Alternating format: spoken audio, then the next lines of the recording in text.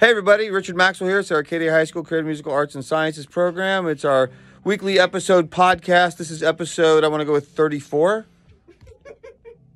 There were two options. 35, You're in between. episode 473. 36. Uh, number 36. No, it's actually really close. So, uh, Zosha Darnell, uh, Mrs. Darnell, who is one of our foreign language teachers, she's awesome. She's very supportive of the program and everything we do here. She came in and did an interview and a conversation with us, and we've got some talk about uh, that was done before Songwriter Night, and then we had Songwriter Night, and then we've got sort of a beginnings of the post Songwriter Night wrap up. We've actually got some more stuff coming for that soon. But anyway, thanks for tuning in and enjoy the episode, and here you go. Welcome back to another podcast episode, everybody. I am your host, and this mic is not centered. I'm your host, Lily Trieu, here today. Um, today I'm here with Mrs. Darnell, but before we start, I'd like to give a shout out to Carter, who was off screen. So shout out to Carter, Yay. running production. Good job, We love you, Carter. This I'm actually recording this in my seventh period, um, which is pretty nice. I don't have to stay after school for any segments today. Um, Works out. works out. Uh, I filmed one during lunch today too, which will be right after this segment you can check out. So, um, here today I'm with Mrs. Darnell. Could you tell me a little bit about yourself, like what subject you teach and why you decided to become a teacher? Absolutely. I teach Spanish and I wanted to become a teacher partly because of the subject area. It's something that I'm interested in. I feel like that's true for a lot of high school teachers that that um, you choose something that you're interested in. I knew I Mhm. wanted to study Spanish. I wasn't sure what I wanted to do with it right away, but then it just sort of became clear as I was working in schools when I was in college and um, yeah, I traveled after college for a couple years. I lived in Spain and taught English, and um, then after that, I was, um, I guess, uh, ready or sort of I had no choice to get a real job, and so so that's how I ended up here. And um, yeah, it took it took a while to kind of figure out what I was doing, I guess. Um, but then there was this point a couple years into my career where I was just like, this is it. This is I love this. This is what I want to do. Um, speaking of your career, how long have you been a teacher, and how long have you worked at Arcadia or lived in Arizona? So this is my 10th year as a teacher, ninth Nice. year at Arcadia. I taught for one year at Ingleside before I came here. Shout Yeah. out Trojans! We perform a lot there. Yeah. Yeah. So, anyways, I've always been within this this area ever since I moved to Arizona. I'm not from here, but when I moved here, it was the first Oh, area that I I'm from Washington state. Um yeah, not Seattle though, Eastern Washington, which is rural and agricultural. And actually, that's how I got into studying Spanish, is because I had a lot of friends growing up um, who spoke Spanish in their homes, and I wanted to be able to, like, feel at home, I guess, Yeah. and, and be able to talk to their families and stuff. And it took a while. It's not a it's not a quick overnight process learning It a is not. language. No, but um, but yeah. Nice. So, um, I got one question for you Mhm. that is related to music. Also, I heard that you're a great supporter of our program. Thank you so much. Yeah, I Um, think you guys I are asked awesome. This to every person who's Mhm. on here, just in general, students and teachers. Um, what was your first reaction to entering this room? This particular room with the or like this, the whole CMAS room in general. it was intrigue i think i was like what what this is amazing i don't I.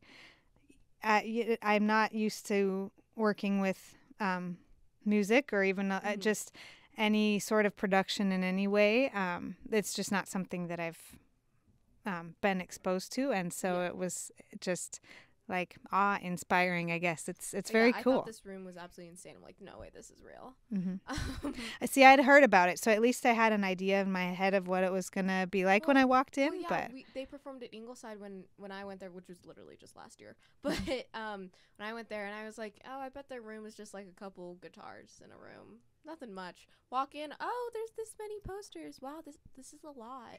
yeah, yeah, it's a lot, and and I think each time you walk in, I Mm-hmm. at least for me, um, I noticed something else, some other cool tool or feature that you guys Mhm. have. So yeah, I don't even know what half the things in this room could possibly be. mhm. but uh, so. Oh wait, you've already. No, I was about to ask you how long you were working at Arcadia, as if I didn't already ask that question.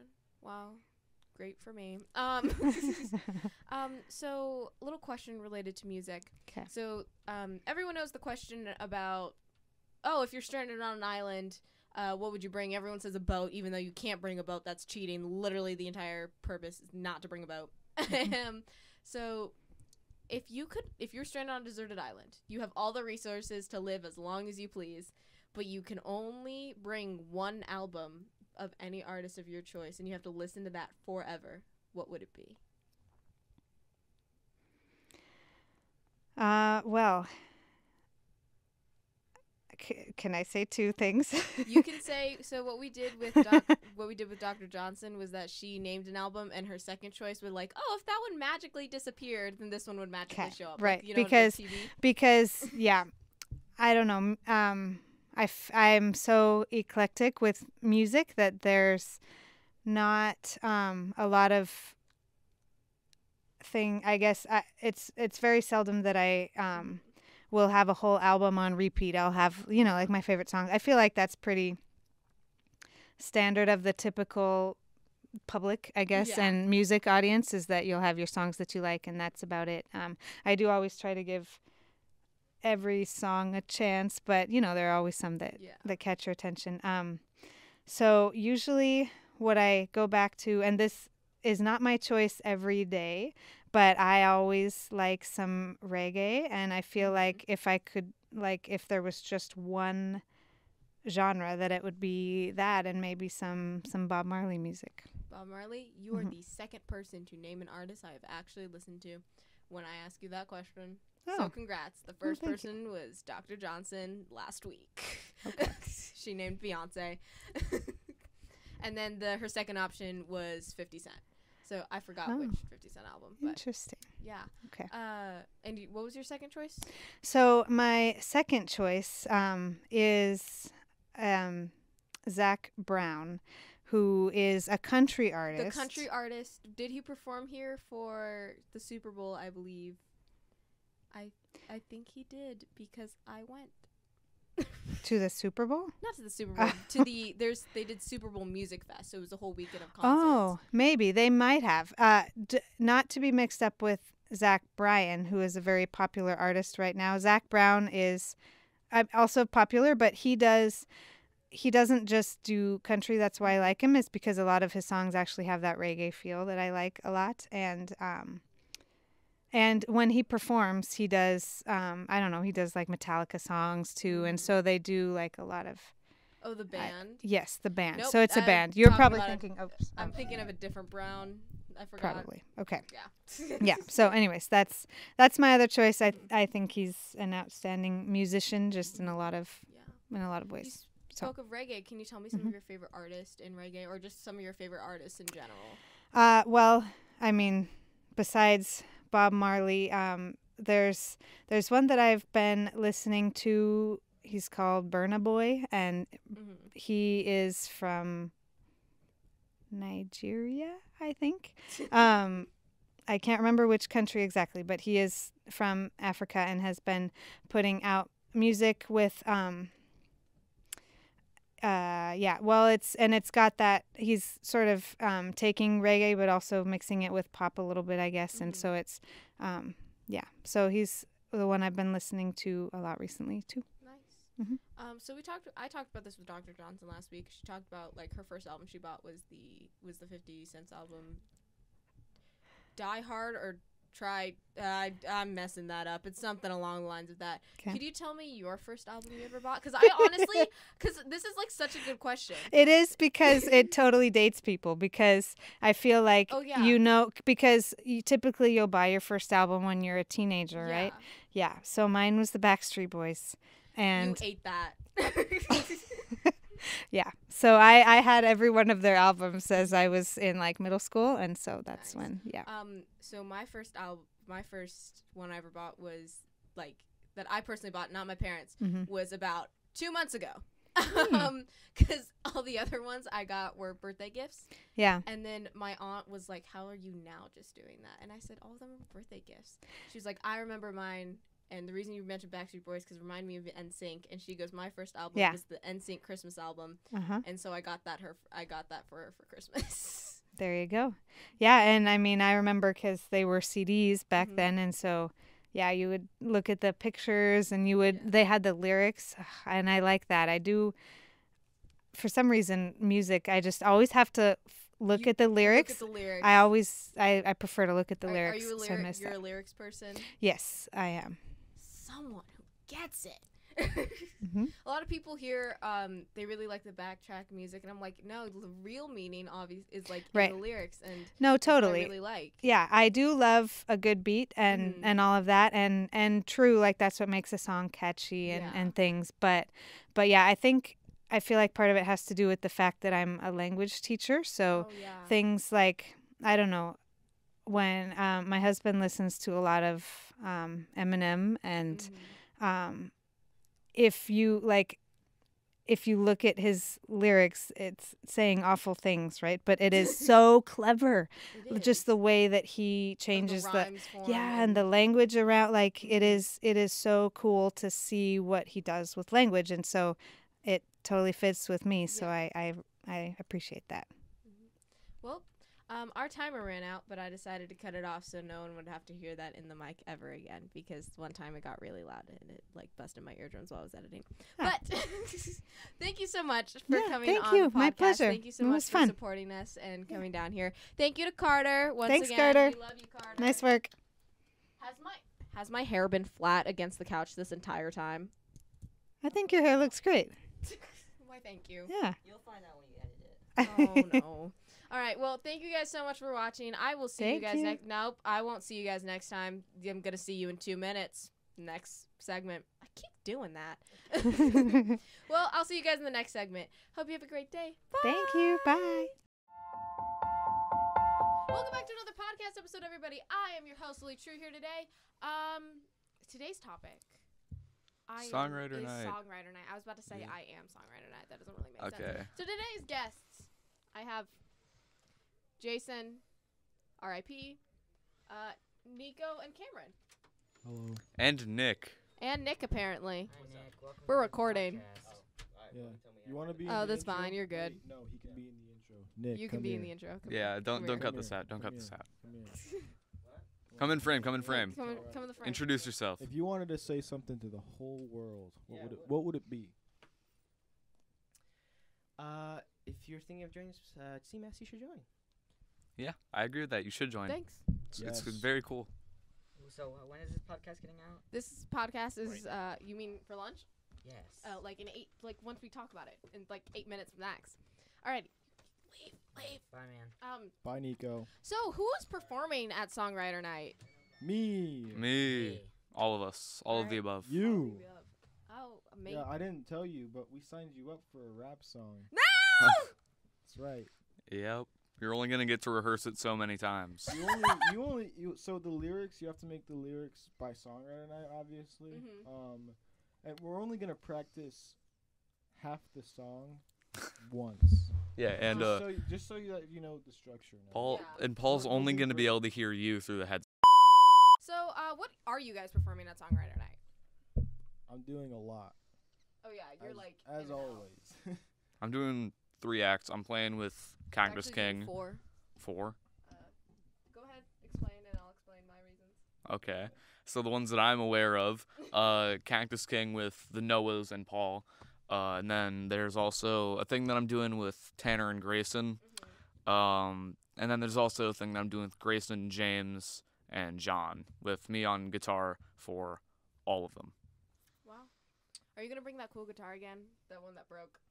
Nah, I wouldn't have a use for it, cause one of the I can't use it for Grayson's song because it it's a hollow body, which won't work too well apparently, and I can't use it for the song with Grayson and Tanner because I need a seven string for that. So, and I don't want to bring two guitars. Fancy, fancy. So, Moving up in the world. yeah. Cameron, what are you performing? Pop punk song. With whom? My band. Original? Yes. Well, it has to be original. the good question. Um, so this is still actually it's not a maybe. We're doing it. Um, we just have to figure out the logistics. We are doing an on-stage podcast segment Oh, with the regulars, and it is more in skit form. Like it's like it's us usually, but it's us on stage like 10 minutes before the show actually starts. So it's as people are coming in, and then halfway through the show, I'm interviewing a few seniors on stage. Okay. Okay. But basically, it's the regulars. Paul, I don't, I, I, I don't know if you count as one. Please get me in on this. He's the, he's Jason's replacement. He's It's Jason's official. replacement. It it depends. This could be Jason's like send off, his final. His final bow. Yeah. It- You know, it'd be really this. funny if we pulled a theater and like uh, suddenly we started beating each other up on stage. Yeah, let's do it. Fine arts assembly. John has then- my Lunchables. Oh no. I personally think we should do it where we're talking about songwriter night and then we crack a couple jokes about Maxwell. And then, well, this is coming out after songwriter night, so we'll see. And then Jason just walks in, and then the lights black out, and then there was there's like some fighting and wrestling, and all of a sudden you see Paul in a green sweatshirt Yep, saying, I can do that. "This ep- this segment has what's it, what is he Th- saying? this episode has gone off the rails. this episode has gone off the rails." I could say that. That's uh, this is Easy. this you is totally look exactly like Jason. I am basically Jason. this is both the greatest idea that I've heard ever, and also Oh, shout out to James. He was the one who thought of it. He thought of do the regulars doing it on stage. yeah. So W James, but also massive L James, because this is maybe the worst idea ever. But it's also could go good. wrong? This could either end really well, or this could be like everyone thinks we're not funny at all. That's I'm not an actor, so Well, we just We'll doing see. what we regularly doing with certain guidelines. with beating each other up as well. I think there, it's- I there think it's will just be Paul. No sinking point. There will be there's no. no redos. There's no edits. No, edits. No redos. No bloopers. How will we Oh, survive? that's so sad. I should really think Lily should. Uh, me and Max Maxwell talked about this. How Lily should just scream "bye" into the mic like usual. Okay. Yep. Bye. Bye. Bye. That's probably the most that they would ever hear. All right. Well, thank you guys for coming on this very. Actually, do you have any other notes about Songwriter Night? I never got to say what I was gonna play. in. Oh, I'm sorry. Continue. I'm playing in a lot. That's all. You said that earlier. Though. Yeah. Yeah. I'm not sure. Okay. I What are you lost- playing in, Paul? I lost count of what I'm playing in, but I have it all in the back of my head. Yep. I, that's all I wanted to say. Is the set list coming out tomorrow? That's a good question. I don't know. No, no one knows. Yeah, if Grace, so I'm pretty sure Grayson, he said he might have signed me and Cal up and him to do something, and I'm gonna have a drum solo in that, so that'll be cool. Fancy, fancy. Yeah. So he says he might have signed you He up for something. yeah, he says I think I did, and I was like, well, I guess we'll find out. so, All right. yep. Um, any other notes, gentlemen, as we end this very short podcast segment? No. I uh, am more prepared for this than I was for the last one, so that's I agree good. with that. Wait, I have one thing to say. Mm. I want everyone watching this to know that Hold on, I wait, let me think. zoom in on you. Yeah, yeah. Go ahead. Go ahead. Okay. All right, get that good angle where no one can see my eyes no matter what I do. Okay. we can see Oh, hey, there we go. Oh, wait. All right. I want everybody here to know that I personally think the band Sum 41 is mid. That's all. That's all. Thank you. Um, thank you guys so much for watching. See you guys next time. Bye. I'm not even in the frame. And tune in next week for where we discuss the uh, Drake versus everybody uh, debate. I don't know if we Oh, should do that. wow. episode, and here you go. Put my phone down! Anyways. So, uh,